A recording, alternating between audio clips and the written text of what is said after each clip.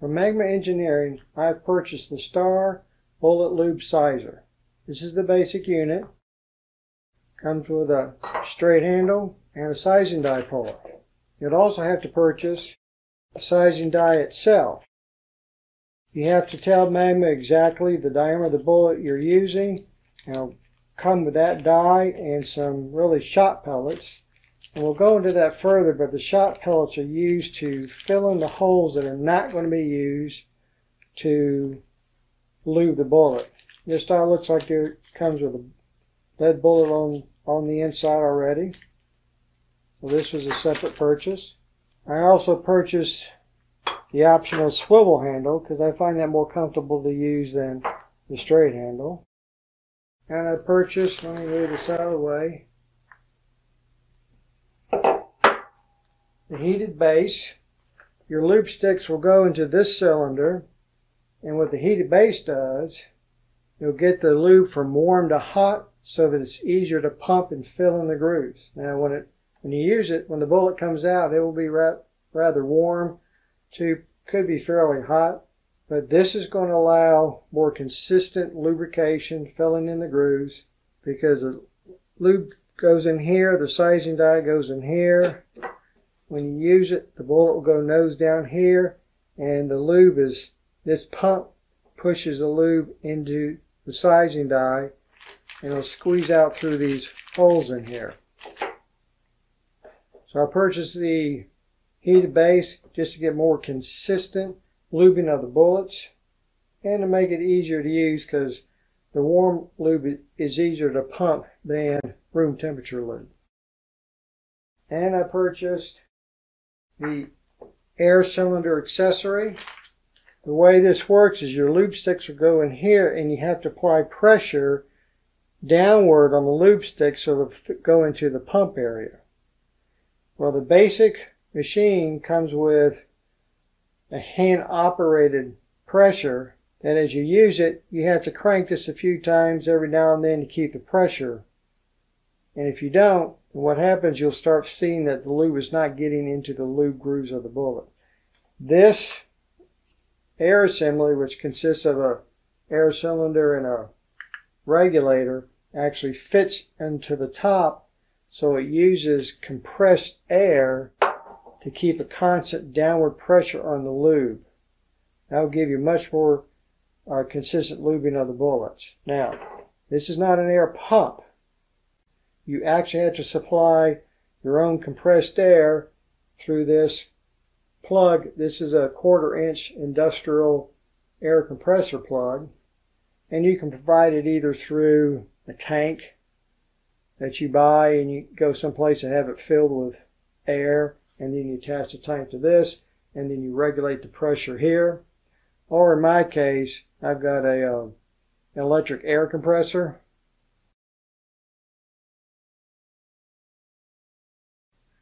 that I want to use to attach to here.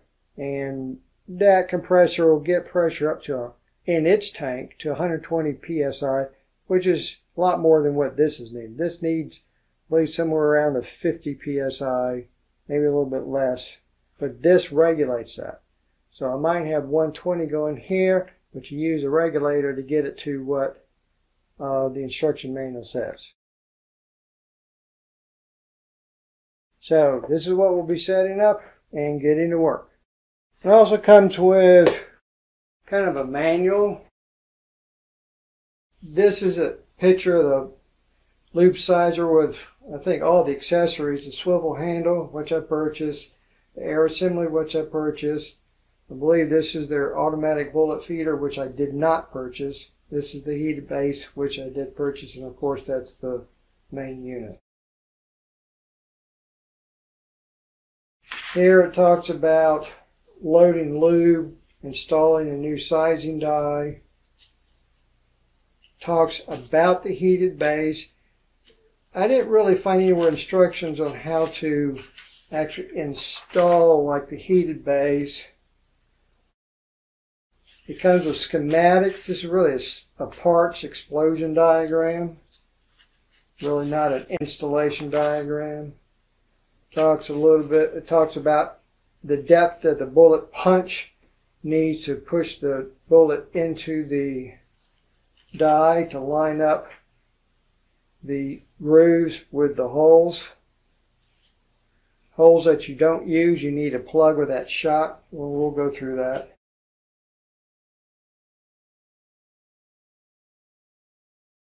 This is really the size and die puller, if you will. This is bullet feeder, which I did not buy. Now this is the heater base. Again, it doesn't tell you how to really install it. It just talks about uh, setting the thermostat on it. And this is their air cylinder, which really consists of the cylinder and the regulator.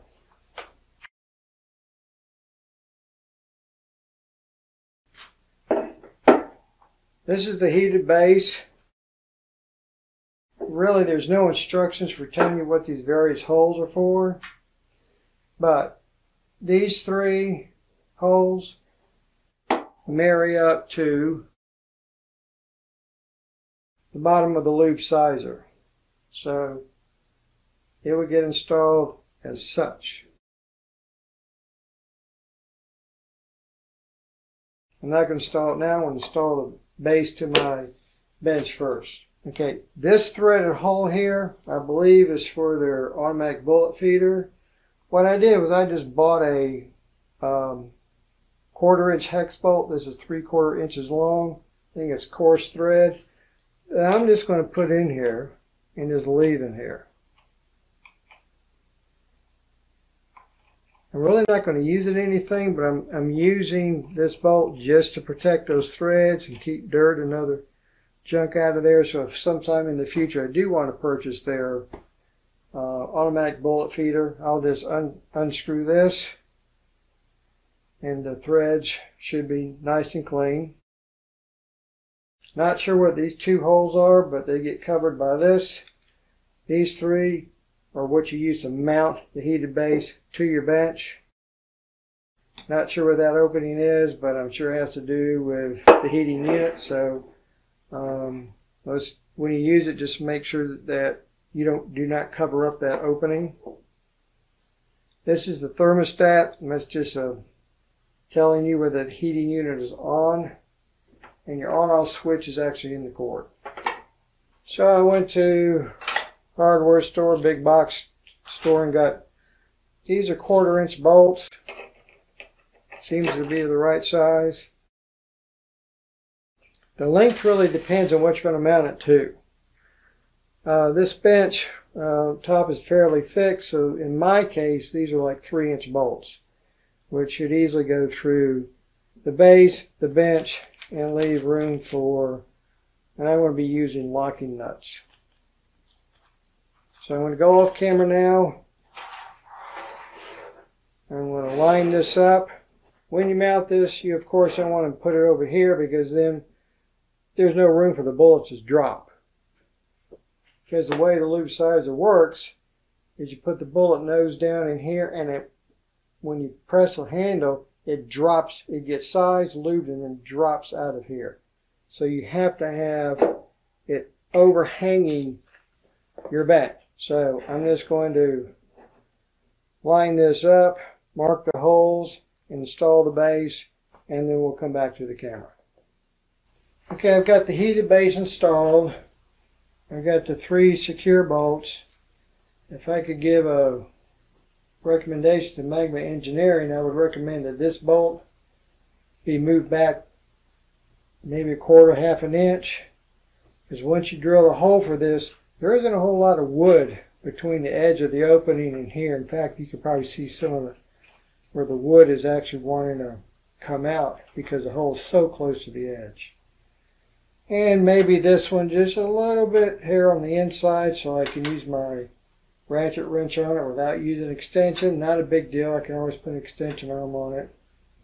Um, but that one I would definitely move back a little. Can't move back a lot because there's this opening in here. But that would be a recommendation.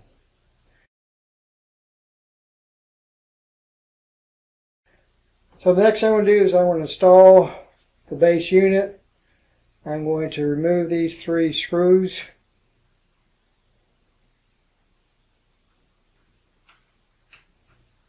They come pre-greased.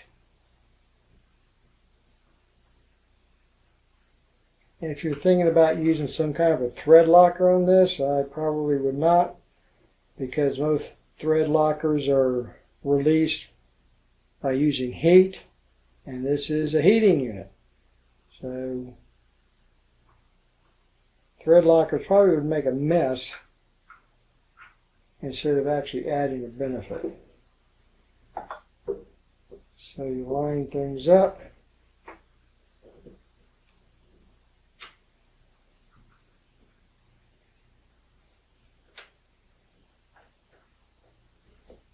All right, I've got the three screws partially in or mostly in. I'm just going to hand take them down to where they seat without really tightening them.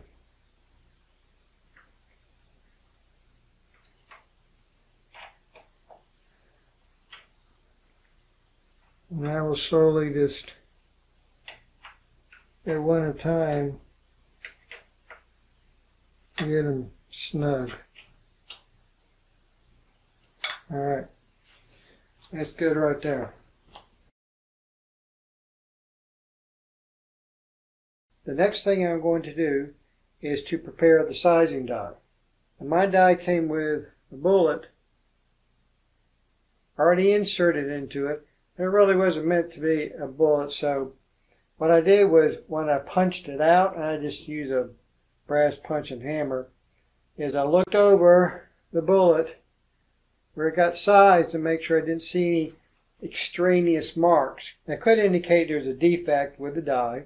I also took my calipers and I measured the diameter in, in three different areas. Now this die is for 45 ACP. The diameter I wanted was 452. And when I used my calipers on this bullet, in all three places, it was 0.4520, 4520, 4520. So this is extremely well manufactured. Now what happens in the lube sizer, this is the top of the die, this is the bottom. You'll insert the bullet nose first. The punch will push it down to where the lube grooves line up with the necessary holes. And then as you continue pulling down on the handle, the punch won't push it any further, but it'll activate the the lube pump and the pump will push lube all in this recessed area here and the holes that are open, the lube will go through those holes and to fill up the groove.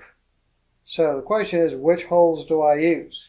Reading through the manual, it says all die holes must be plugged with number 7 or number 8 lead shot, which is provided with the die, except the row being used on a particular bullet on single lube groove bullets, which both of these are, you will use only the middle row of holes. All right, so in this case, this is the top of the die, the wider part. That's the top row, that's the bottom row, that's the middle row. So for these bullets, I want to use that hole to insert the lube into the groove, which means I have to plug these holes with the shot provided. And we'll see that. It says most dies have three rows, which this one does. With two row dies, use the top row. So, but this is not a two row die, it's a three row die. But if it's a two row die, I would use a top row to fill the, the lube grooves. Bullets with multiple grease grooves will use the appropriate rows for their design. Dies can be ordered with proper spacing for most bullets. So if you have multiple grooves. You before you order your die, you'd want to get up with Magma Engineering and give them the specifications of your bullet so they'll know where to put these holes. Now, both these bullets are 45 ACP. This is 185 grain. This is a 160 grain.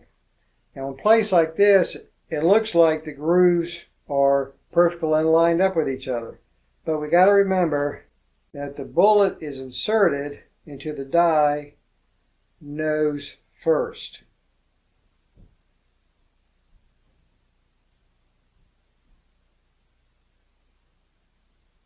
So as you can see, the grooves no longer line up. Now, that doesn't mean you can't use this same die. It means that the punch that pushes the bullet into the die will have to be set at a different depth for one bullet versus the other. Otherwise, if you use the same setting, when you try and apply lube, it's either not going to go in because it's impacting the covered by the bearing surface, or if it's not low enough, you're going to end up putting a bunch of lube over the nose area. All right, at this point, let's go ahead and fill the holes. I've already done it. I've filled these two holes with the shot. I filled these two holes with the shot, so I just have these two to go. In terms of plugging the dies, instructions say use the shot provided, which is generally number 7 and number 8 lead shot, use a brass hammer punch to firmly seat the shot. Use two shot pellets if necessary. On this particular die, I only use one pellet per hole because after I seated one, I looked inside and even though there's a little space left, there wasn't enough space for an entire pellet. So if I recess these further in and put another shot and pounded it in, it'll actually come out the other side. Which you don't want to do because then as you size the bullet, it's going to get scored because of the protruding lead. So at this point, let me get the sizing die set up in the vise and let's plug these two holes. All right, we've got a brass punch. Uh, this happens to be 532nd, but I don't think that's critical. Okay, again, the shot was provided with the die. Vise holds it pretty firmly, so I don't have to hit it really strong because, again, this is lead shot going into a steel opening.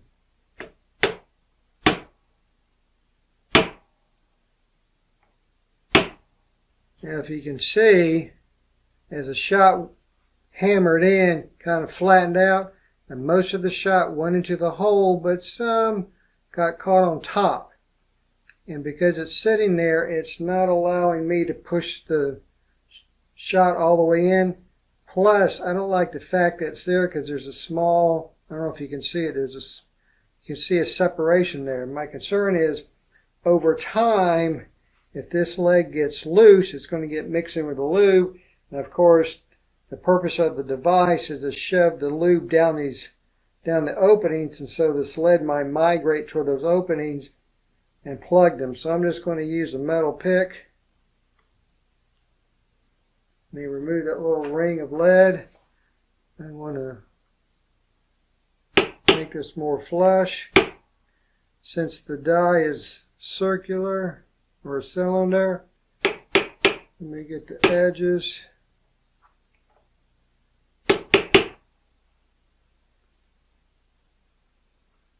It feels pretty flush. I don't know if you can see it, but I picked up the uh, residual lead with a piece of transparent tape, but it's that's right. That's what came off I pushed it off. I'm just going to discard it. let's do the next one.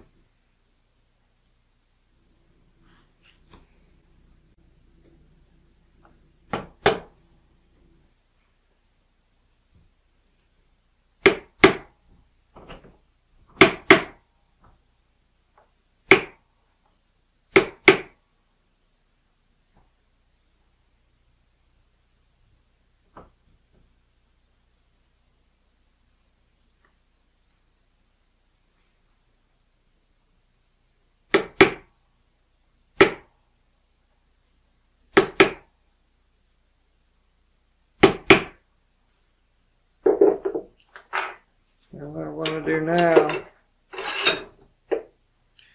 is just look inside and make sure that the lead is not protruding through. It's not those two, not those two. And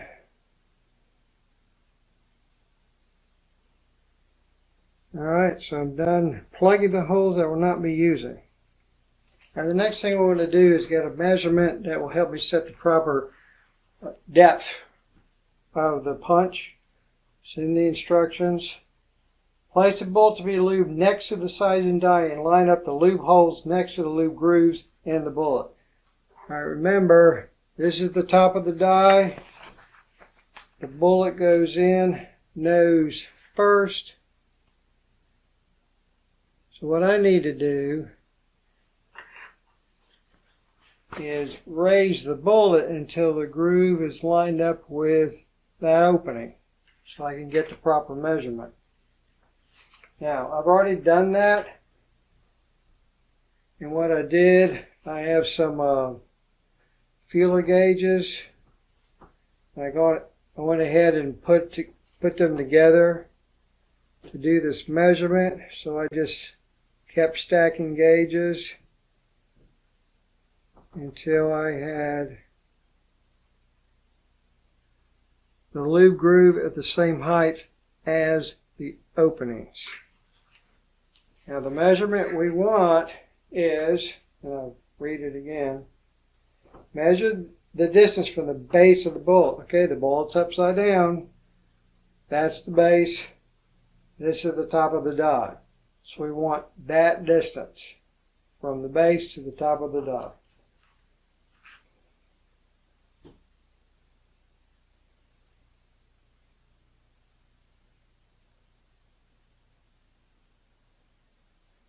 All right, I get, for me, this bullet, this die, I get 26 30 seconds. So I need to write that number down. Now the way I want to make sure they're the proper depth, I took my largest brass punch that I have. If you remember, my distance was 26 30 seconds, so I put that tape so that it's at 26 30 seconds. What I'm going to do next is complete the setup of air pressure assembly. Now the instructions say that the air pressure assembly replaces the manual pressure assembly and 99% of that is correct.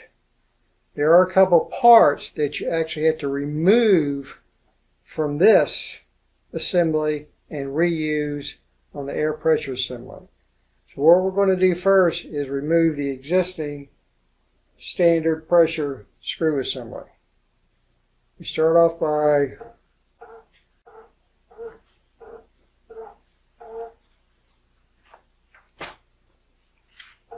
loosening this rather large screw cap.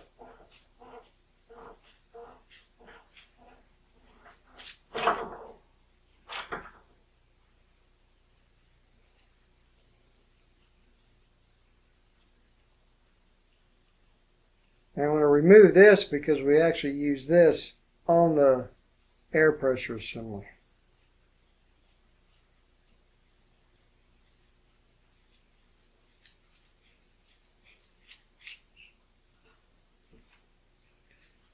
And there's a threaded top. We're going to actually insert that upside down and screw it onto the spring assembly. If you were not using the air pressure assembly, this is essentially how you would install a new lube stick. All right.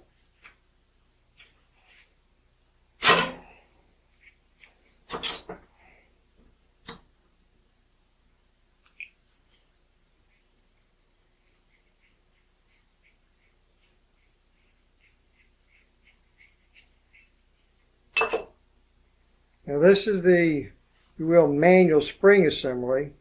If you aren't using the air pressure assembly, you would use a small lever provided with the lube sizer, where these are attached, and you would screw down on this, which would compress the spring, which would push down the lube.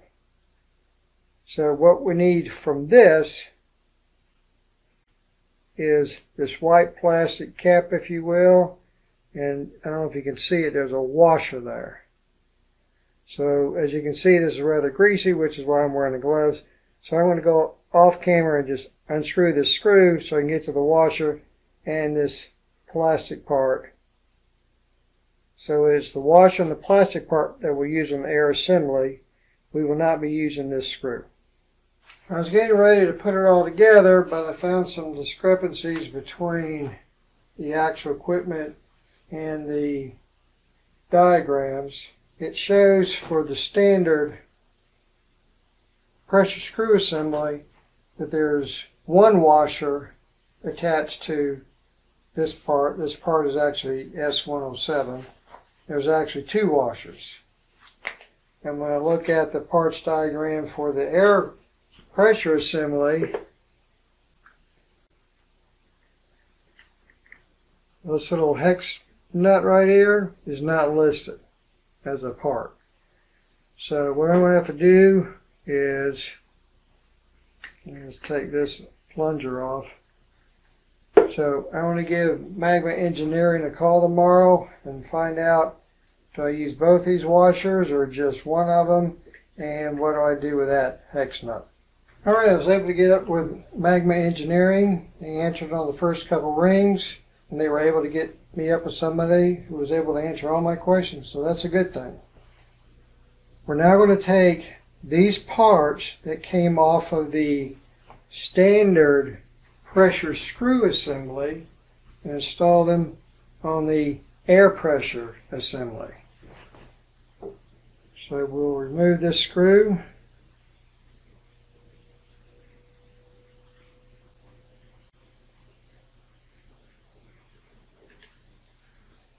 Remove the aluminum piston. Make sure that this nut is tightened all the way up and then we pull down to expose the plunger and then we install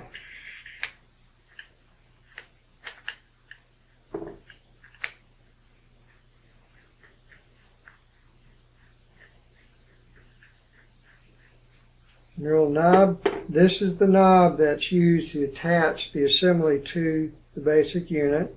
We now install these parts.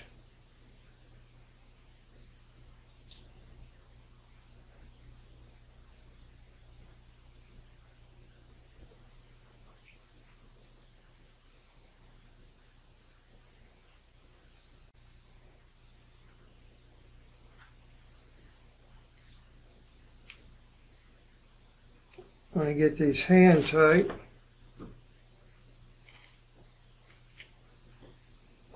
Now it is this part that's actually going to push down on the lube sticks. Let me get one real quick. But actually push down in this manner.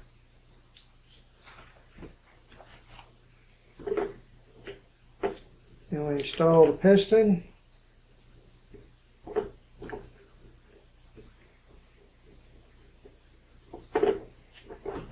And once, it is on, take a half inch open wrench and then just tighten this nut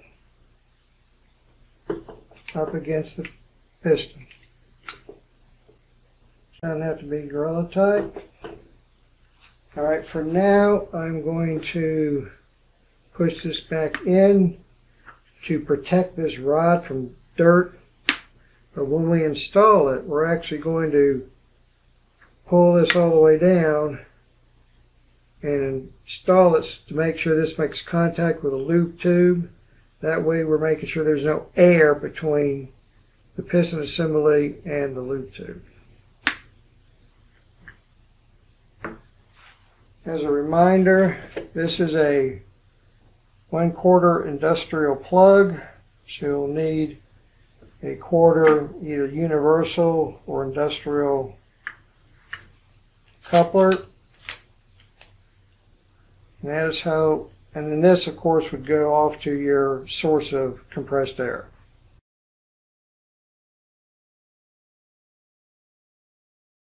And we're now going to install the sizing die into the unit. The instructions say to put some little bit of grease, a little bit of oil on these two surfaces, and you want to run your punch all the way up. Another thing I do is the opening for the lube to come out is right down inside there. I don't want to put my open holes directly across from that. The reason being, uh, as the bullets get pushed down, as you transfer from one bullet to the other, that opening is going to get exposed somewhere around the after it leaves the base of the bottom bullet and enters the nose area of the top bullet. And grease is when it's going to ooze into that opening. So to make it a little bit more difficult, I take the holes that are closed and I put them opposite this opening.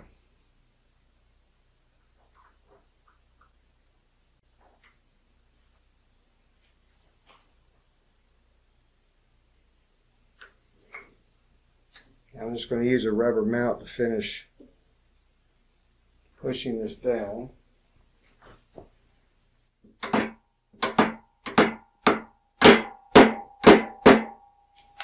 Now, I do not have a bullet in there, and that's on purpose because I decided to change the way I set things up. What I do now is I would actually put a bullet, I'd make sure this is raised all the way up. I put a bullet in here and then I take my little stick, I measured off the distance from that mark to the end is the same distance here. That's my X in the instructions. And I would push the bullet down, including compressing the spring. And come up and I put my stick in to see if it's at the mark yet. More than likely it's going to be sitting above. So I'll unscrew this a little bit, do it again, and include as though you were trying to grease the bullet. Check it, run the punch down, and keep doing that, not just touching here, but compressing it. Making the measurement, down, compressing it. Until I get to that mark. At that point, I will run this nut up and tighten it down. Now also at this point, once you have this, they recommend that you measure the distance between the top of the die and the bottom of the punch. That way, when you, if you swap out dies and come back to this one, you can easily get that distance. I tried to measure it, and I got a measurement, but I decided to use a an adjustable parallel. All right, well this is an adjustable parallel. Basically, you have two blades that can slide and therefore change the height of these two parallel surfaces, this top one and this bottom one. So I just slid them until I got a fit between here and here. Now for those who are observing, you could probably notice that this blade is shorter than this blade. So I actually ended up having to take a blade off of one of my parallels a blade off the next smaller parallel to get this height. I could not get the height just with this and its partner, but this one and its partner blade, I was able to get it, but these two openings, only one opening was over this blade, the other was off here in the, with no support, so when I tightened it down, it wouldn't stay tight. So I took the blade off a longer one, the blade off a shorter one. That way these two screws are over this one and so when I tighten them down it this blade stays put. Now we're going to install the air pressure assembly. Again this is the device that will keep constant pressure on the lube stick as we're using the sizer.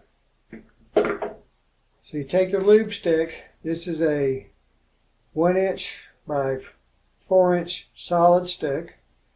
It does have a little indent at one end. I want to put that indent at the top. So you insert your stick. And now we want to screw on this assembler. The way we want to do it is we want to pull the piston down and insert it such that as we install this, there's no gap between the lube stick and the piston. The problem is this is rather tight and as you try to insert it, it's just going to collapse on us. So what we're going to do is go ahead and connect our air pressure to the assembly, allow air in, so keep the piston down. And of course, when you attach compressed air to it and let the air through, it's going to dry this out, so you obviously don't want this pointed at anything. So what I want to do is I'm actually going to pull it out all the way and take it in just a little bit because I should hear the piston push out completely when air is supplied.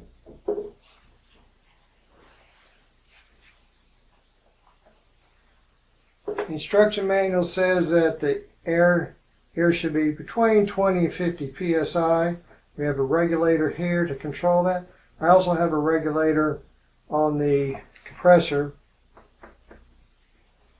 I'm going to set this here. That way when air is provided and the piston is pushed out, it shouldn't cause any issues.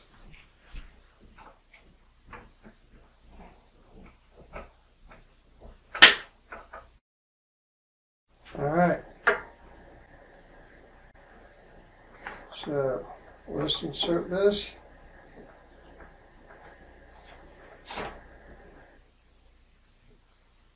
All right, it is touching the lube stick. So I've got it in there. There's no gap between the piston and the lube stick. Obviously, there's too much space here. So what we do now is disconnect the air. What you do is you cut it off at your source, let it go down to zero, and then disconnect it from the pressure assembly. So cut the air off at the source to relieve the air out of the cylinder. Pull down the regulator and just start turning until the air is, is released. At this point, okay, at this point we're going to completely screw this in. It's going to be a combination of screwing this in, screwing the assembly in,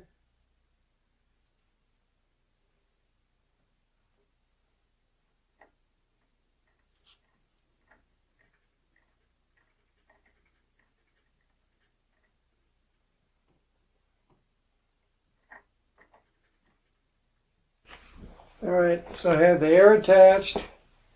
The regulator on my compressor I've set to a little over 50 psi. And the regulator here is sitting at around 45, a little over 45 psi. So what I'm going to do now is plug in the heated base and let it, as the instructions say, cycle off and on. Uh, I think the base is thoroughly heated up.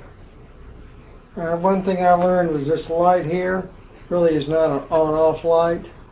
It's more like a thermostat light. If the light is on, it's applying additional heat.